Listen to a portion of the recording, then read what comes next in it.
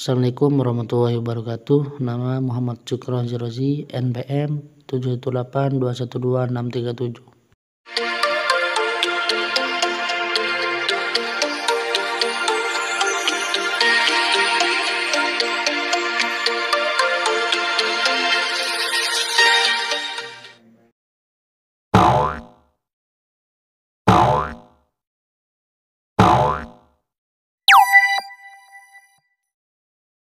Baik, saya akan menjelaskan tentang analisis pengaruh kualitas pelayanan.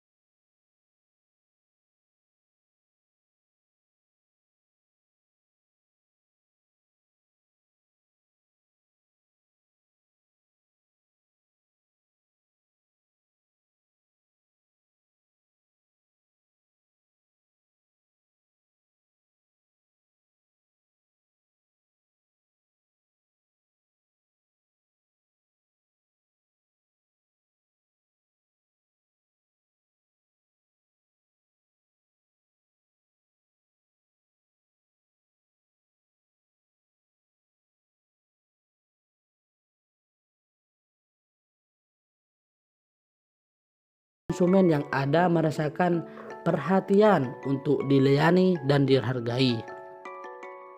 Ketika pelayanan itu baik, tentu akan berdampak pada penjualan yang akan dicapai.